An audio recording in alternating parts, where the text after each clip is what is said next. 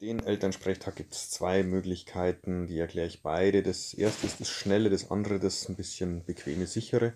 Aber am Anfang mehr Arbeit. Also ich kann ja einfach mal eine Besprechung starten an dem Elternabend und dann bekomme ich die Möglichkeit, Eltern, wenn ich die Mail habe, per Mail einzuladen oder wenn ich den Namen vom Schüler weiß. Ja, das, das würde ich jetzt machen.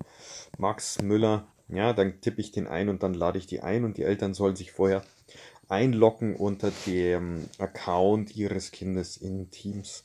Ich habe das Problem, vielleicht gerade bei so einem Allerweltsnamen, also bei Max Müller gibt es in München vielleicht zwei oder drei, und das ist ein bisschen die Gefahr. Also, dass ich, ich muss dann wissen, welcher Max Müller 4 oder so ist der Max Müller, den ich brauche.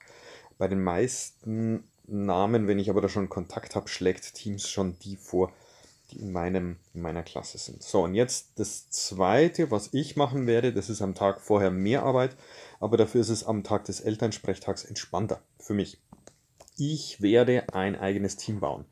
Dieses Team nenne ich dann also Team erstellen und es wird zum Kursteam sein und dieses Team nenne ich Elternsprechtag Plötz, mein Name und dann auf weiter. Und hier werde ich dann schon mal die Namen aller Schüler hinzufügen, bei denen sich die Eltern bei mir angemeldet haben. Ja, eben schon ein, zwei Tage vorher und dann weiß ich, habe ich die richtigen drin. Wenn ich mir nicht sicher bin, Max Müller ist das der Max Müller 1, Max Müller 2, dann kann ich auch dem Max einen Code zukommen lassen. Ich klicke da hin.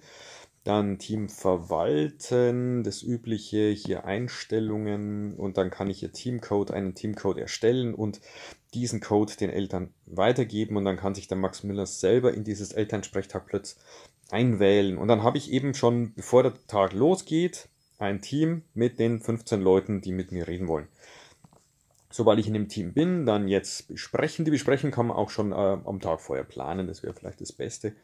Und dann, wenn ich drin bin, ja, dann kann ich starten. Ich mache immer, ähm, das ist sehr wichtig, weil es gibt da wirklich private Sachen.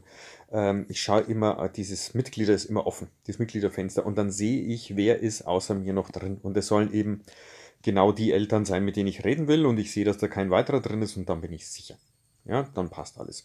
Und die Eltern sind ja automatisch, äh, es gibt da diesen Wartebereich, ja, und dann sind die nächsten Eltern können ja schon im Wartebereich warten und die lasse ich rein und schmeiße die anderen raus und das, das müsste dann eigentlich ganz gut klappen. Wer sich unsicher ist, probiert es am Tag vorher einfach mal aus.